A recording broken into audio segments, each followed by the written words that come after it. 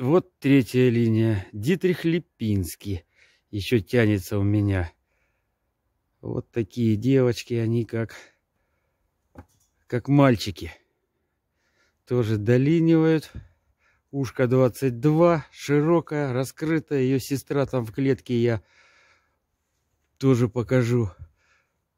Меня просто просили, как зимуют кролики. Я показал, как они зимуют. То есть, как бы, так же и зимуют, как и осенью и весной, и летом.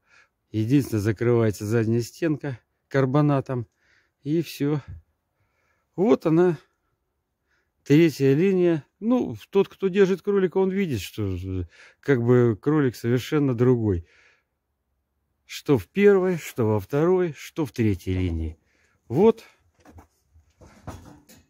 Вот как бы вот так. Вот так вот. Вот так. Не буду тоже сильно загружать вас. Солнце в глаза. Щурится. Вот как бы... Ну, а ты... Она не хочет на столе.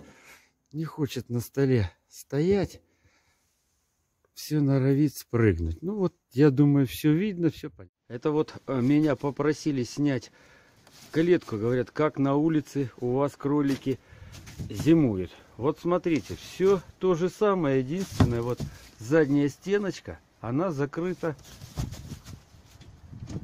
не фанерой, а закрыта э, вот этот вот прозрачный, как он называется, полистирол, как он называется, не полистирол. Ну вот, стоянки, крыши делают сейчас, навесы. Вот как бы. И все. И все. Также все остается. Две комбикормушки. Все, все, все, все. Вот девочка белая.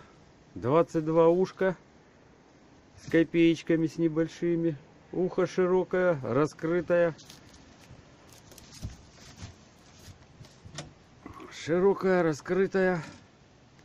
Иди сюда, иди покажись. Ну-ну-ну. Вот, широкая раскрытая ушко у нее. Такая, эта линия у меня очень такая, корпусная. Здесь девчата в этой линии как, как мальчики. По головам, по корпусу. Вот. Вот все то же самое. Вьюшка вот закрыта. Э, э, когда родит, тогда и будет пользоваться ей. Сейчас ей не нужна она. А потом детки, и она все будет открыто, все будет пользоваться. Вот, как бы, как бы так. Вот девочка. Я говорю, ухо. А то тут товарищи, которые не показывают своих кроликов, сетуют, что уши там где-то у кого-то узкие. Поэтому вот как бы... Ну вот так, вот. Уже и девчонку заодно покажу.